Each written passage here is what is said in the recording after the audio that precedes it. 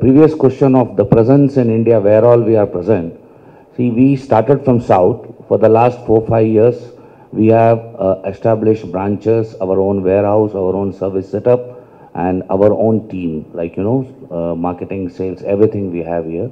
And from last year, we started expanding to other markets also.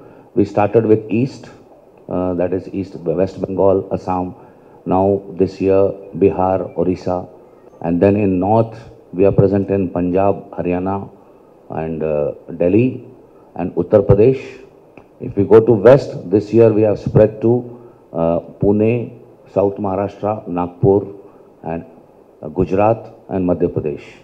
So in the course of this time, our basic, you know, target is to be present everywhere on pan-India basis and be in the network so that everywhere we are able to sell. Once that is completed this year, our quantity volume will also go up and we also have plans like Mr. Jackson said, we will also have manufacturing, uh, you know, facility in northern part or maybe in the western part.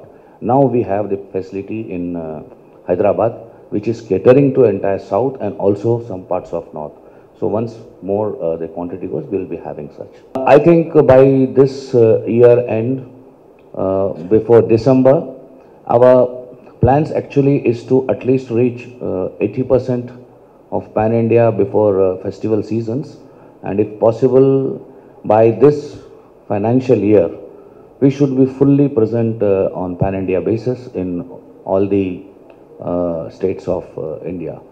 Now we have covered the major uh, states and now we have states like Himachal and uh, you know the other Uttarakhand. Those states and all will be our last phase of covering. So I think by this year end our basic target is to be on the pan India basis. That is what is the vision he is having of completing it this year.